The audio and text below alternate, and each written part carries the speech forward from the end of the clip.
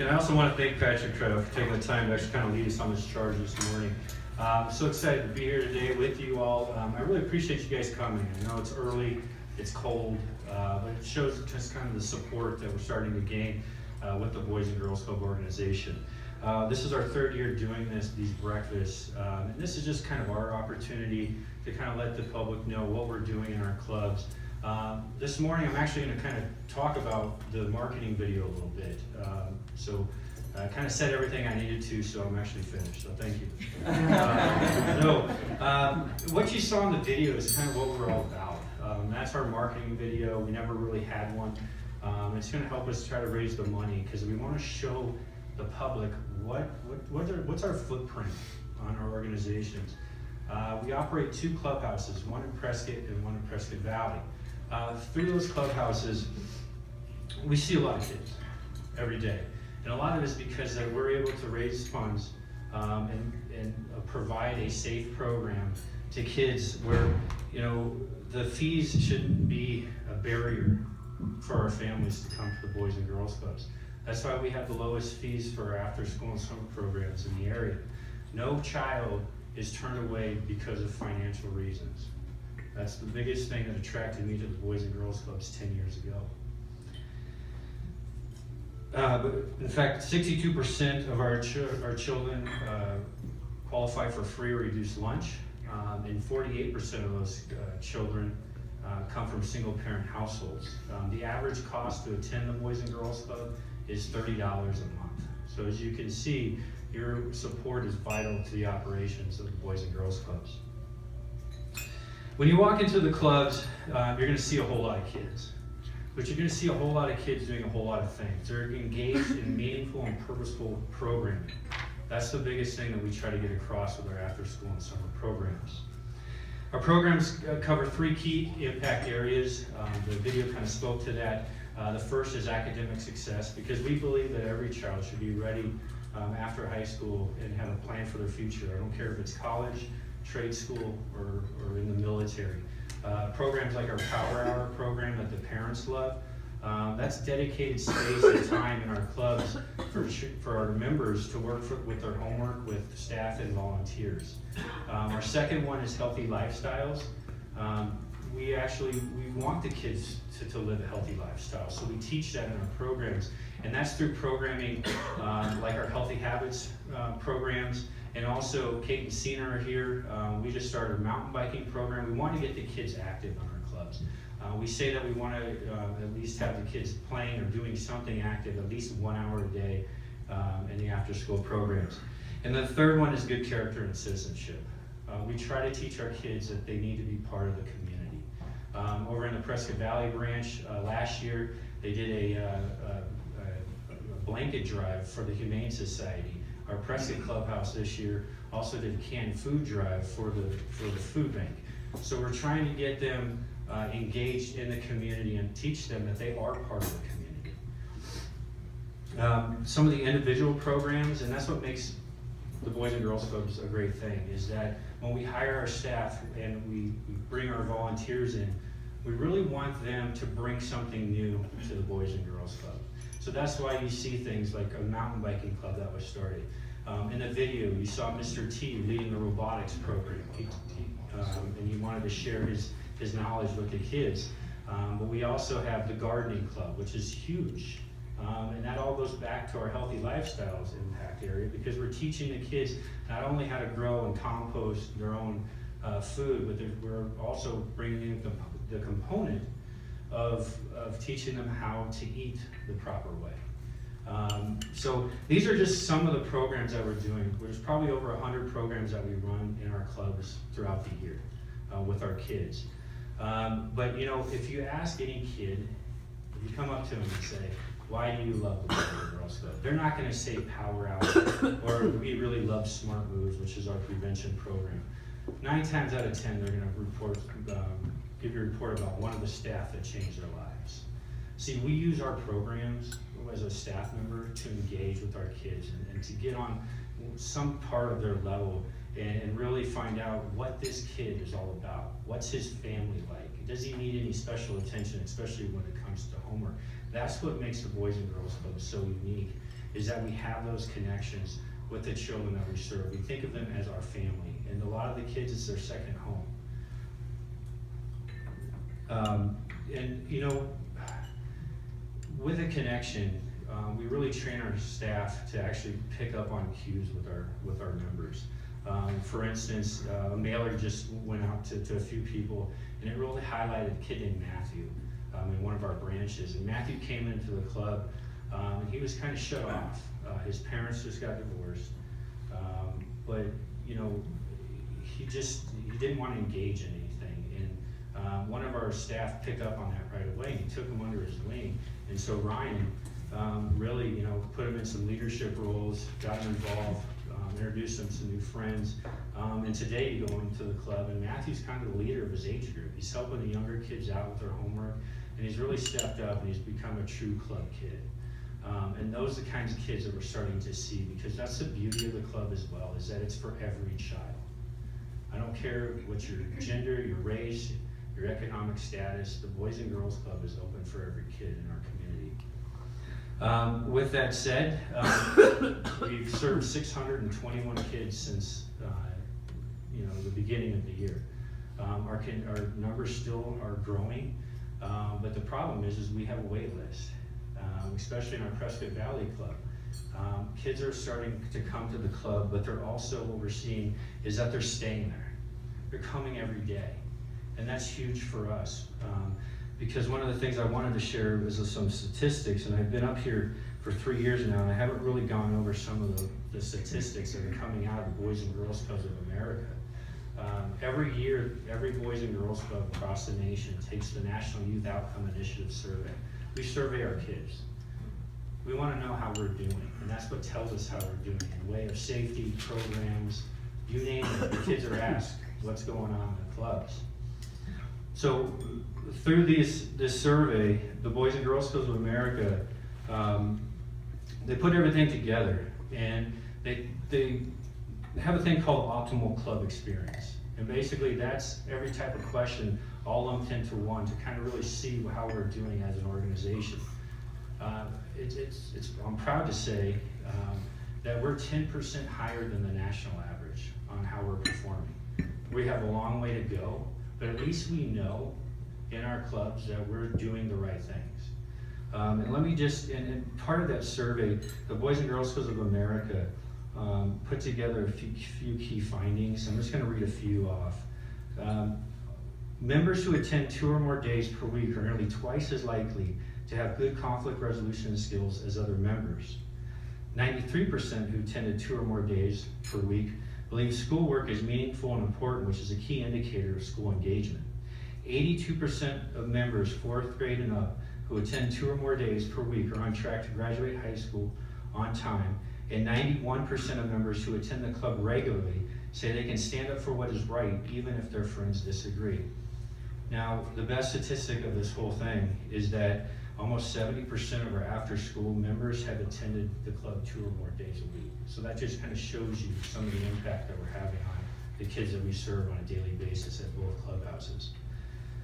Um, you know, and, and you know, Joe's going to be up here kind of later on just to address, you know, we do have a waiting list, but we do have plans for that. We also have plans to expand our programs in other areas. Uh, we're partnering with Prescott High School uh, to start a multimedia program in January. Um, that will just be working in conjunction with the multimedia teachers so we can start teaching kids valuable skills that will help them um, move forward um, through high school, like video production, uh, we're even teach DJing. That we got a nice uh, uh, donation from the Rotary Club. Um, we are putting it to use, I promise. Um, so those kinds of things. We're also now in the talks with Chino Valley, it's, it's just initial stages. Uh, but we're looking to put a teen center in their, their old community center in there. They're having a lot of issues with their teens in that community.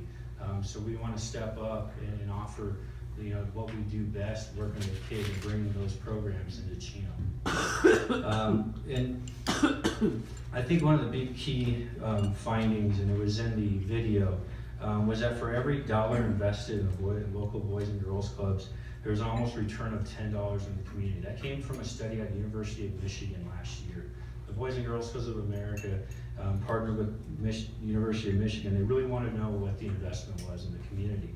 And what they found and how they really came up with that number is because they saw that club members have improved grades. You know, they're going on um, to, to get a post-secondary education of some sort.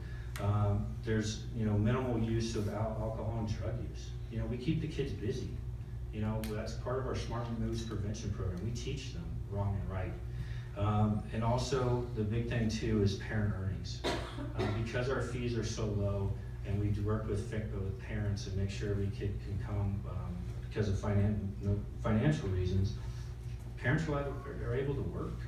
There's not now a choice between do I work or do I stay home with our kids. Um, so that's just kind of some of the impact on the Boys and Girls Clubs. Um, I really invite you to please come for a tour and kind of see it up personally, because I can stand up here all day and tell you why the Boys and Girls Club's so great. Um, but if you don't, you know, are able to come by and see kids in action and actually see the programs in actions, you can really get a, a good sense of what we're trying to accomplish in our clubs. Um, so again, thank you so much uh, for being here today. Um, and hopefully I'll, I'll hear from you guys soon for, for a local tour. Thanks so much.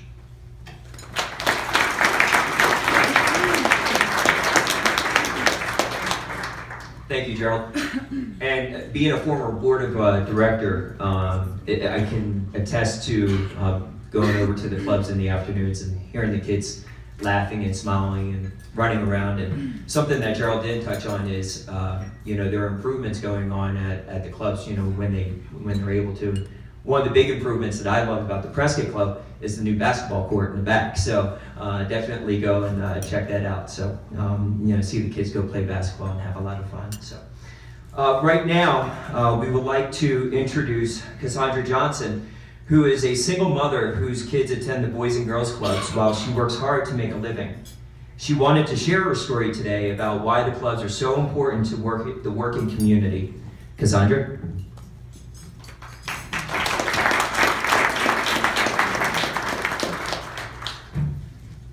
Hello.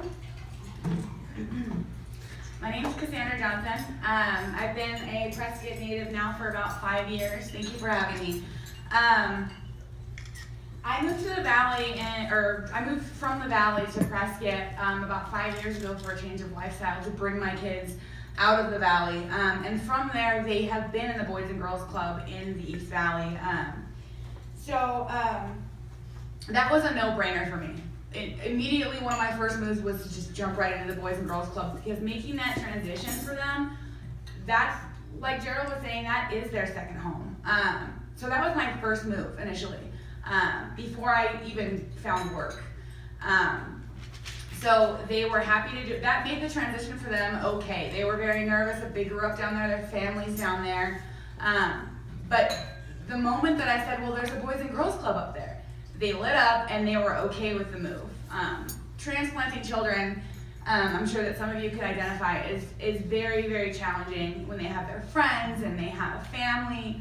Um, so that was the key to make this very more of a softer transition for my children. Um, so that being said, just a little bit about myself. Um, growing up, I was a child of divorce, um, and I went back and forth between parents until I was kicked out of my home at 17. Um, during that time, I never had a place to go uh, after school. I got into a lot of trouble um, during that time. Uh, so since I had no place to go um, after school, I was on the streets a lot, um, out very very late, um, causing trouble. That's where I kind of found things. I mean, school ended at what three o'clock, and then you have until whatever time to um, to just get in bed if your parents tell you or they don't tell you.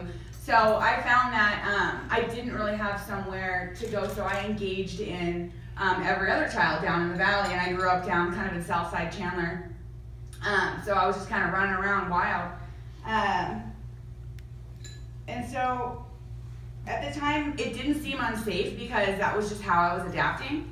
Uh, and I adapted to the dangers of that, and I just did what I needed to do to maintain. So that was kind of my situation from um, a very young age, from probably you know 10 until 17. Um, you know, little did I know how that would affect me. Um, in the long term, developing survival behaviors like this, um, not having um, an actual structure um, that was provided for me with positive and uh, reinforcement and positive programming, I was able to just kind of make my own decisions in that way. Um, so, you know, I embrace the strength of it now, um, but I made many mistakes in that time that would kind of change my life forever. Um, I got involved with drugs at a young age, and this is kind of grimy, I'm gonna just kind of say it right out there. I was arrested 10 times before my 18th birthday. Um, I was just looking for my place, and I didn't have that, so I found it kind of out, you know, in punk rock bands and, you know, staying out late and, you know, all these things. Um, and I'm telling you this because it's, it's the reality of someone that doesn't have that guidance um, outside of a broken home. Um, so, you know, after after all that, that's kind of my story on that, and kind of why I I'm so adamant about having a place for my boys, being a single mom. Um, I had them at a very young age. I had both of them by the time I was 20 years old. Um, and within that first three years, I was a single mom. You know, I really knew how to pick them at that point from kind of my past. So, um, not to say that I have any regrets because my boys mean the world to me. Um, and I have two of them. And um, so I was a single mom uh, within three years of that. And um, and I just uh, it was it was a struggle. You know, I had help from my family. I um, kind of bounced around a little bit. I was just trying to find my groove on how to be a good mother, and um, and this was before they were at the age of being you know involved in these kind of clubs and things like that. So it was just kind of me. Um, I got right out there. I had to work. I was working within you know a week of having both of them because that was just how it was. I had to provide, provide, provide. I had a lot of support from my family at that time. Um, but it was a it was a struggle. And so once they got older, to um, as soon as they could, I could like. I, I put them in um, in programs that I could find that were affordable. But at the time when, when it's not an after school program, these things are, you know, for two kids it can be up to two hundred dollars a week.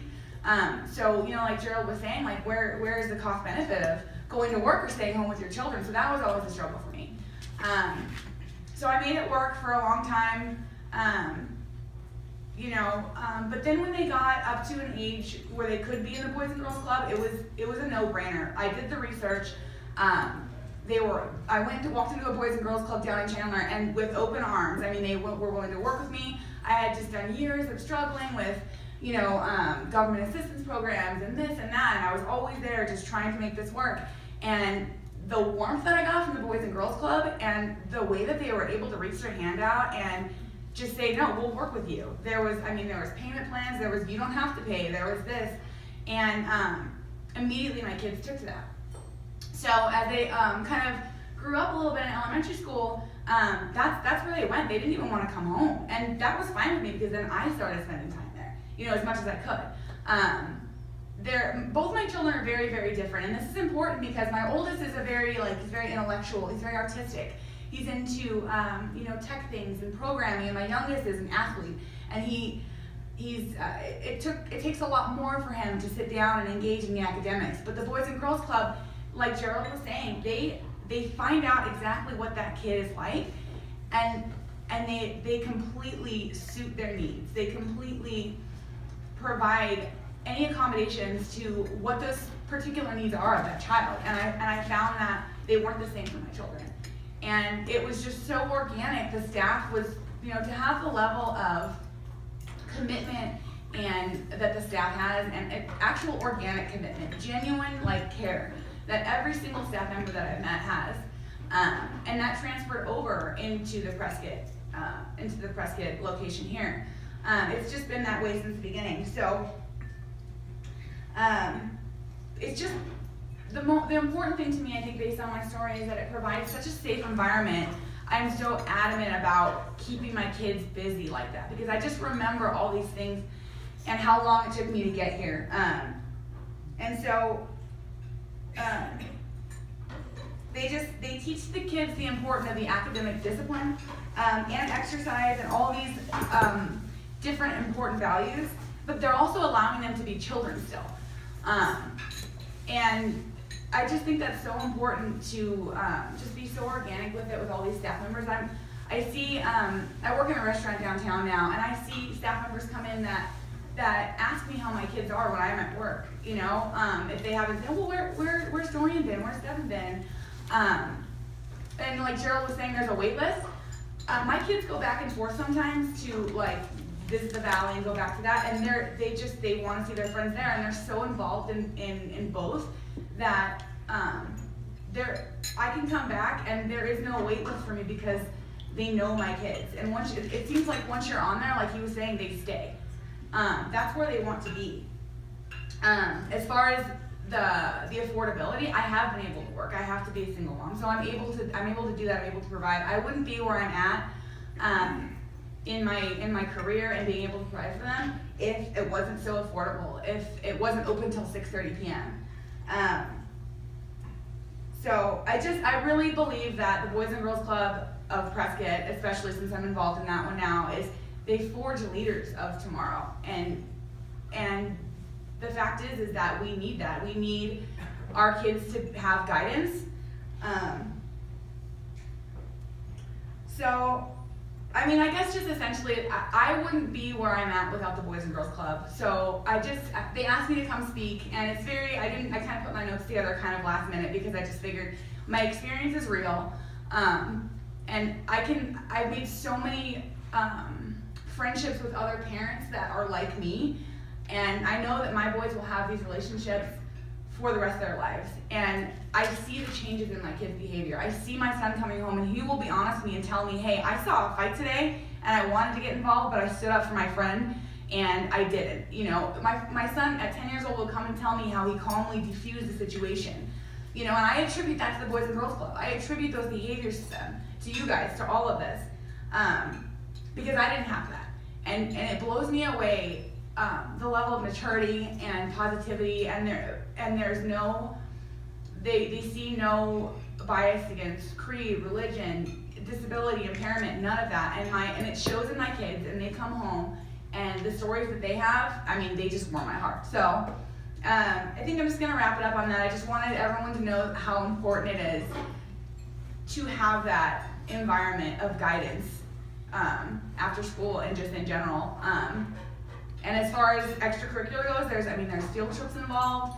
Um, I take advantage of every single piece of that. Anything that, any, any program, I, I'll, uh, I'll dish the money out for it because it's that important. So I guess I'll just close on that. Thank you.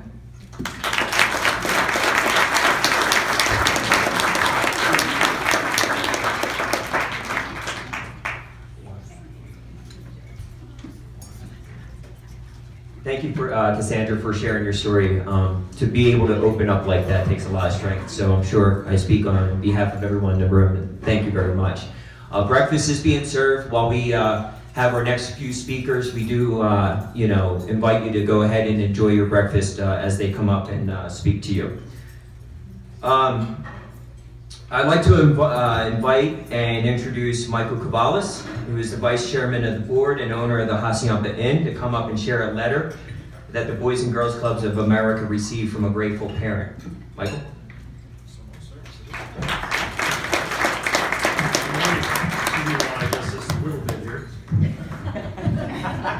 I'm not used to speaking in microphones because I look like I'm hunched over, so I may be standing up and yelling a little bit more, so just kind of bear with me. So, uh, thank you everyone for being here this morning. My name is Michael Kuvalas, and I am a proud board member of the Boys and Girls Club. Um, and I'd like to thank Cassandra, who for four, going on five years, for sharing her story. And I'm extremely proud of you for what you've accomplished, so thank you so much. So I've been asked to read a letter that was sent to the headquarters of the Boys and Girls Club some time ago, and it's one that I'm gonna ask you a favor. I know we're here, we're socializing, we see friends, we're here as, as community leaders, um, and we're networking. What I'm gonna ask you to do is switch and put in your, put on those parent eyes, if you would, and hear this letter from looking at your own kids, if you would, and kind of where this mother was coming from when she wrote this letter. Because we all hit those crossroads, and this is one that I believe we can all experience and kind of look at from, from this individual's perspective, okay? So I'm gonna be kind of going through because it's kind of a long letter, so I'll just pick kind of the highlights on this. My introduction to the Boys and Girls Club, Boys and Girls Club came about in a unique manner. My husband, myself, and our two children, one daughter age 16 and a son age 12, had recently moved from a small town where my children had spent most of their lives in a secure and family, very family-oriented society. We were in an average middle-income family with myself in the role of full-time mother. We had always been very active in the neighborhood, school, and community activities, participating in soccer, swim team programs for our children, we, moving schools, grades, uh, excuse me, moving from a school, grades 7 through 12, population 700 students, to a middle school of over 1,500, and that was in 7th and 8th grade alone, was a traumatic shock for my son, then a 7th grader. To say that he was miserable here is, is a great understatement. Each day, we held our breath, hoping that he would make it through the school day and begin to adjust to the change in his lifestyle.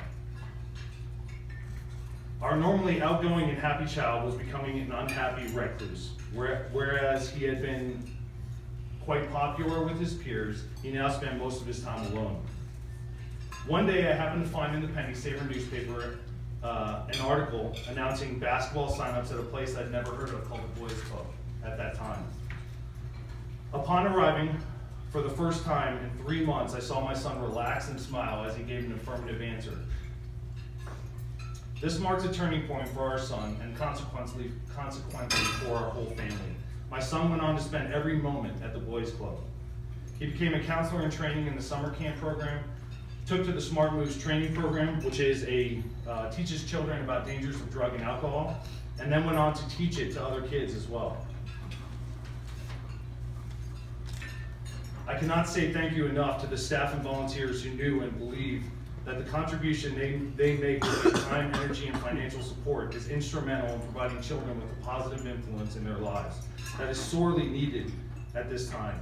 Many of the children served by the club come from single-parent homes, and the positive male role models found in the staff provide some of these children with the only male influence in their lives. The staff provides loving discipline, affection, approval, encouragement, help with school problems, lessons in, mor in morale, teaches a sense of value as well as provides a safe haven and sense of direction in the lives of children. The programs available can satisfy almost every need, from the artistic and creative to the athletic. Opportunities to excel are, are evident in every endeavor undertaken by a child. My favorite point to make about the Boys Club which at that time was the Boys Club, Boys and Girls Club, is that each and every participating child is recognized as special, unique, and valuable. This is a gift of immeasurable proportion to these children in a time in which self-esteem is essential for survival. I could go on and on and on about the great service the Boys and Girls Club provide for the community. But to suffice, it is to say that the family, my family and I owe the club a great debt of gratitude. I am grateful, proud, and privileged to be associated with such a group of fine and dedicated individuals.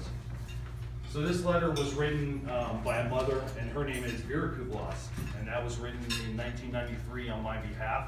Um, and I can honestly, and, and Karen Cassandra, I would not be on this podium, I can guarantee you um, talking to you as an individual, as a club kid, if I had not had the Boys and Girls Club to save me, because it, it literally, I was at those crossroads, and that's why I ask you to look at it from a parent's perspective. We've all been there where we could have gone two different directions, and I would have gone the wrong one, I can guarantee you, if the club had not been there for me. So, all of you being here today, thank you. Genuinely, thank you, because I am up here because of the donations and because of the generosity and the leadership that you provide um, from our community officials to our police department to the, the volunteer that just shows up one day and says, hey, I want to give back. And, and I genuinely want to thank you all for what you do. So thank you and you know, thank you on behalf of all the kids.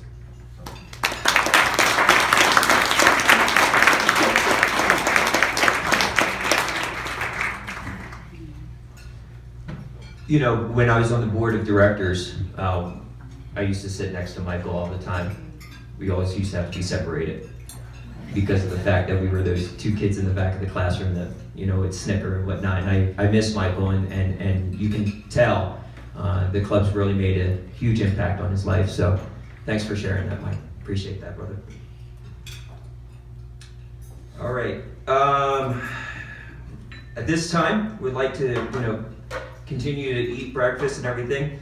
Um, we would like to introduce uh, Joe Baynes, uh, our board chair and also uh, director of Parks and Recreation for the city of Prescott.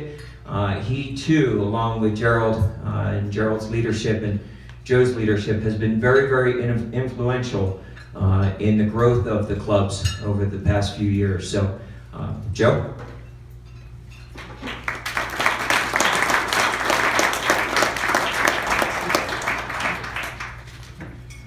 I don't know what Michael's talking about. Microphone's perfect. Yeah, I want to thank you all for taking time out of your busy day to, to share a little time with us. And I, get the easy part here because I get, get to share all the exciting news about things that we're doing with the club and the momentum that we have with the club. And I'm really proud of what we've got going on, and I think you will be too. And uh, we, we're glad to see you guys here. That represents you being friends of the club, and that's what we really want to build is friends, friends of the club. We want to have a, long reach in the community because we, we're here to stay. So as Gerald mentioned earlier, we have a wait list at both of the clubs, and, and it's only a problem if you don't have a solution. And we have a solution. Uh, we have a good solution. Just recently, thanks to the City of Prescott and the CDBG Fund, the Community Development Block Grant Fund, we were able to build an outdoor basketball court at the Prescott Club. The reason that's so important is because uh, if you haven't been to that space, it used to be an adult center, and it's a multi-level building, and we do a very creative job of moving the kids through because we try to keep the kids, kind of the age groups, similar age groups together, and we rotate them through the, the rooms as they go through different programs. So really, this gave us a space, outdoor space, where we can do a lot of things, not just basketball.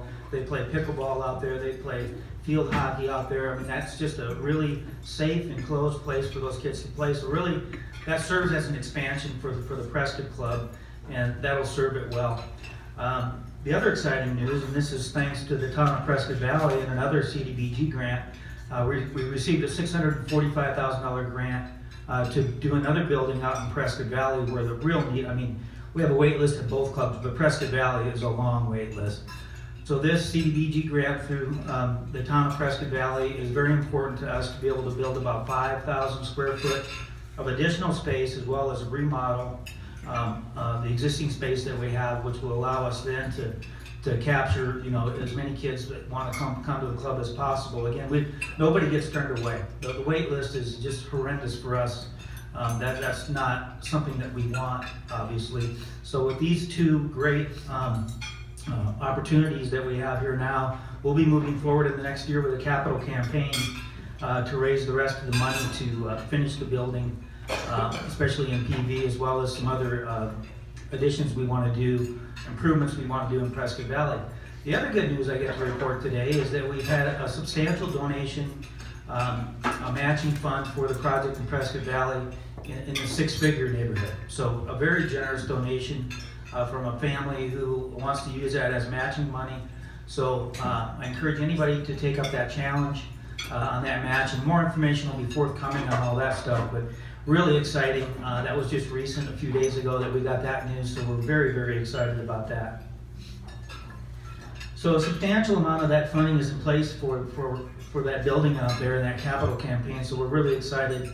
Uh, we'll be moving shortly through uh, Ryan Judy, uh, town of Prescott Valley, and the CDBG grant, and going out for architects. So we're we're real close to breaking ground. Very very excited. And uh, the project must be completed in two years, so you can tell, I mean, these things take time, but we're, we're on a fast track. So very exciting news. The other exciting news I get to announce today is one of our fundraisers. It's a new fundraiser, and it's called Dancing for Our Stars. So it's modeled after the Dancing with the Stars that you see on TV.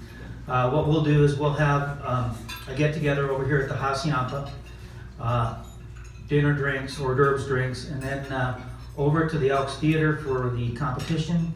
Um, and we're really excited about it. So save the date on that. That's April 21st that that's going to happen.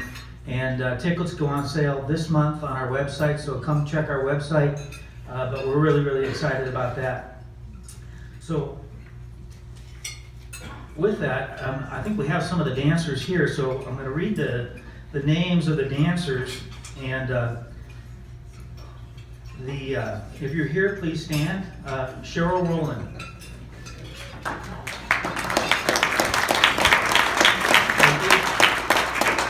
Uh, Lisa Dandos. Lisa will, will, will be dancing. Uh, Mackenzie Van Wormer. Mackenzie will also be dancing. Uh, Marnie Yule. Marnie, are you here? I see Marnie. Uh, Sheila Polk. Uh, and on the men's side, we have Brad Fain. I don't Brad is here. Uh, Father Darren uh, from Sacred Heart Church will be one of our dancers. Uh, Larry Stephan, Embry-Riddle University. Uh, Steve Sischka, Prescott City Councilman. Dr. uh, Todd Geiler. And uh, I'm already standing, but you know, I- I'm in. Joe Baynes.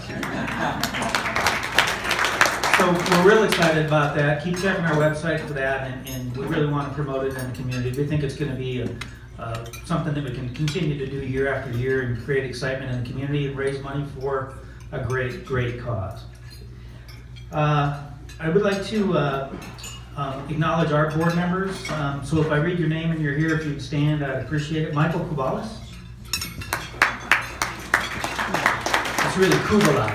Kubalas, sorry. Uh, Linda Thine.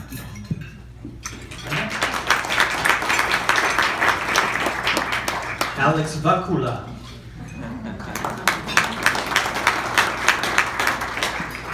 Uh, Prescott Valley Police Chief Brian Jarrell. Elena Sandwick. Uh, Steve Schock. Uh, James Carr. James is not here. They had a death in the family, so he's not here until the 5th. Mike Sardi. Tom Toth. Somebody has to work, huh? Uh, I do want to thank Tom Toth for that video. Tom- That was Tom that did that at his expense and time and did the voiceover, so thank you. Uh, Prescott Police Chief Debbie Black. And Drew Diener.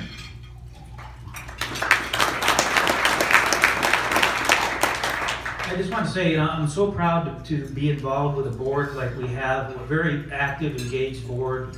Uh, we had an impromptu, less than 24-hour notice meeting last night so we could share the good news about the substantial match. Um, and I was proud to say nine out of our 11 board members were there in 24-hour notice. So these people are committed, and I really, I think it shows, it shows in the clubs, um, and I'm, I'm really just be proud to be associated with them.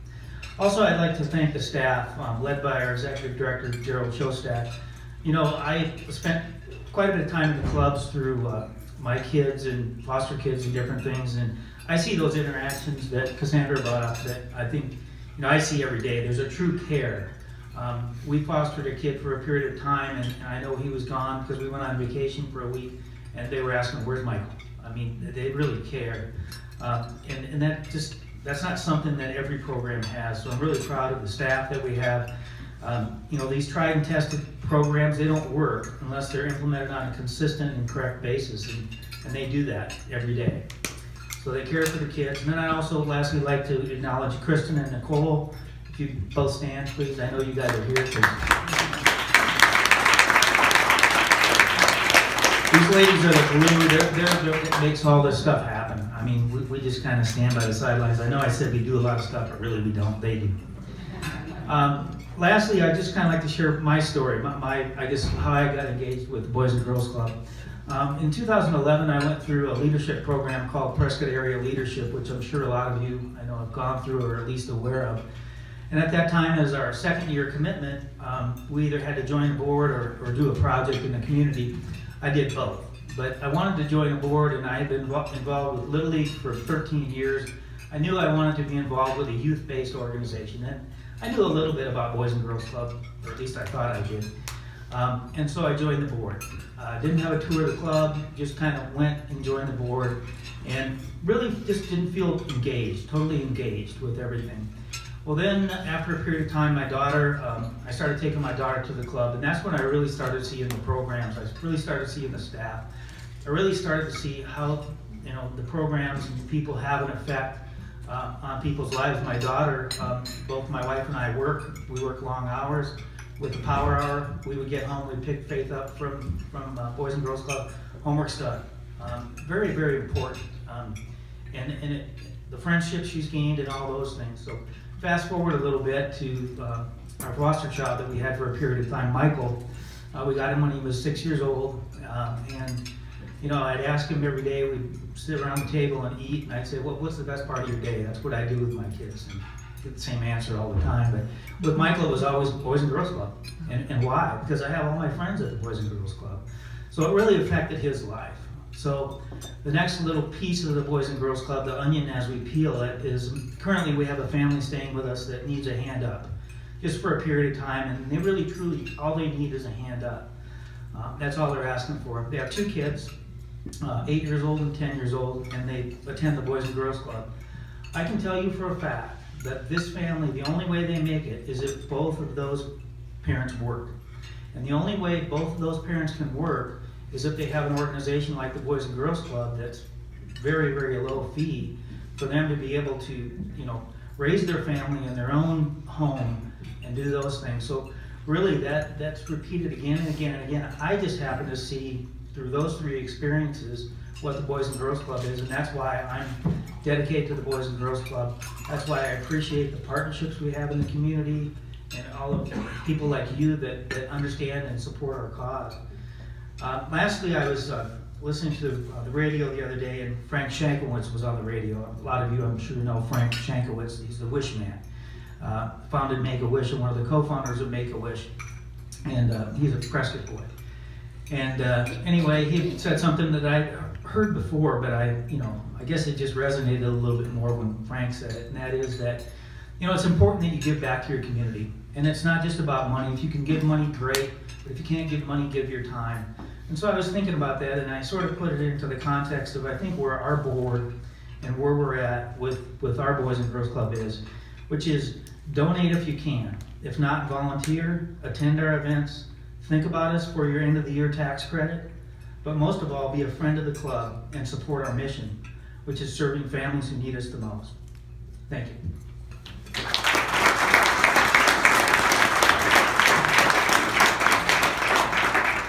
Thank you, Joe. Um, I got a text message while Joe was speaking. And I'll just read it here uh, real fast. Patrick, I know that Joe doesn't know me that well, but could you mention my name as a board member? Thanks, Travis. So. I know you're a junior member of the board. I took my place and everything. Joe really doesn't know you. I don't think Joe knew that. I was on the board for a few years as well, too. So it's a... I got the text message. The internet doesn't lie, right?